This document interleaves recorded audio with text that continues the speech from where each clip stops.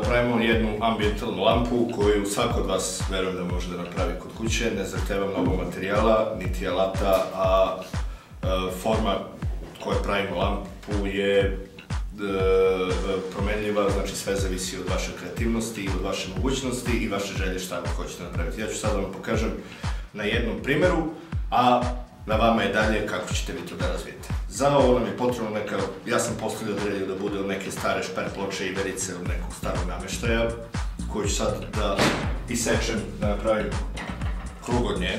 To može, ne mora da bude krug, može da bude i kvadrat, može da bude drugonik, šestougao, šta god vama padne na pamet, ne mora i da bude šper ploča, ali ja sam to danas odabrao.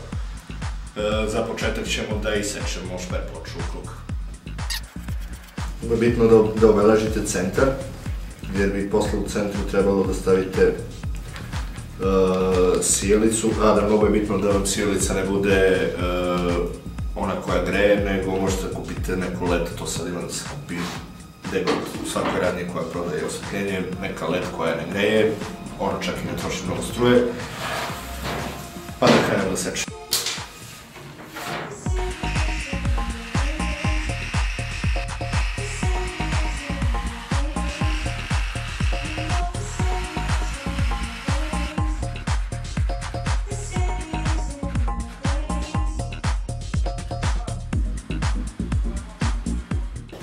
Bušimo rupu kroz sredinu gdje će da prolazi kabel za sjelicu.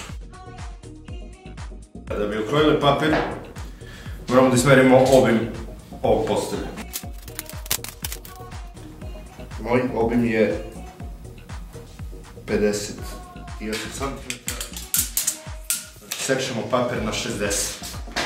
Rekao za dalji rad, ja sam odabrao Bristol crne boje koji košta 120 dinara i možete da kupite u bilo kojoj knjižari. Znači, bitno je da bude Bristol ili tako neki malo tvrđi papir koji će da, da, da, da, da se ne gužva lako i ne.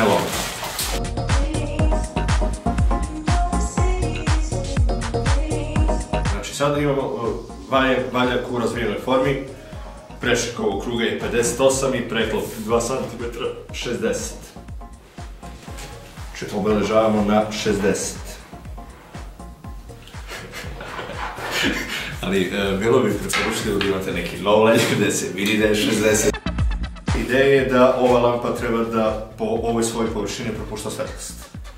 A to ćemo da radimo tako što ćemo da odredimo šaru po kojoj ćemo da bušimo rupe i onda će kroz te sitne rupe svetlost da izlazi i pravi efekt u vašoj dnevnoj spavaćoj kuhinji.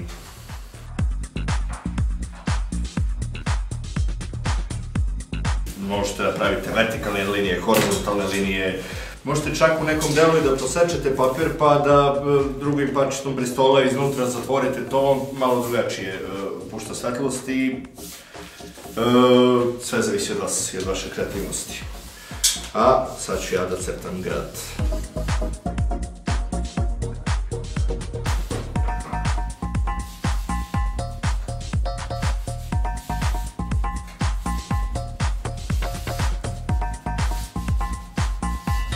Je da olovkom kojom crtate, da je ona izbrisiva posle da možete da obrišete linije.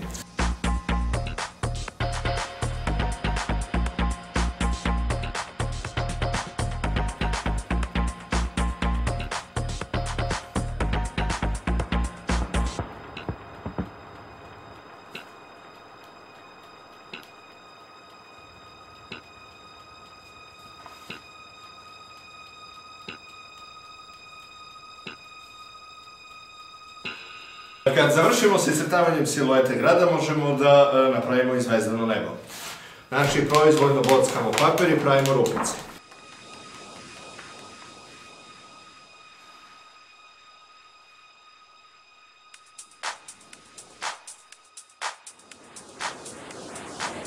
Ja.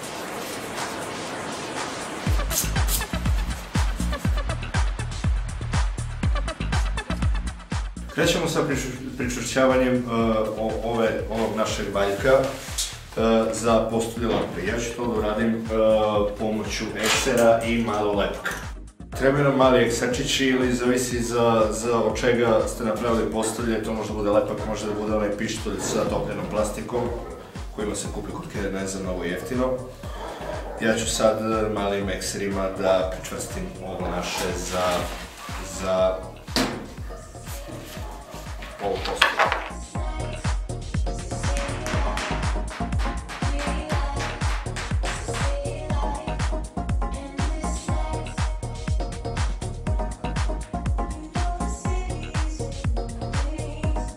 pravi cilindar valjak, možete da koristite spajalice, ja sad imam ovo, možete ukusnicu onu žensku za kosu, možete selotejp, ali samo da bude sa jakim lepkom i onda krenete sa formiranjem svega.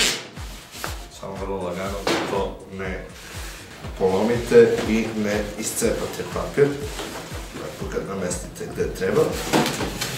I onda nanosite lepak na ovaj spoj.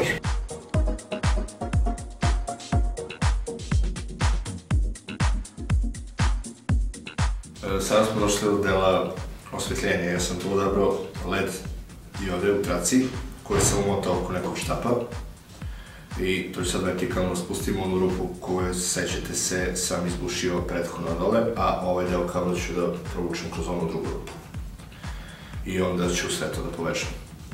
Sad moramo malo da zamolimo rukice ovu našu lampu.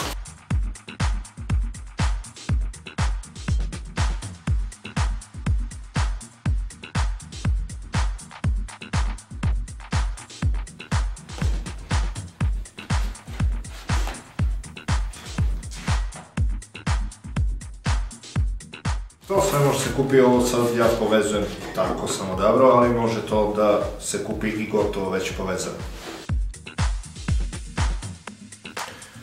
Evo ovakav efekt dobijemo kad povežemo sve i uključimo lampu.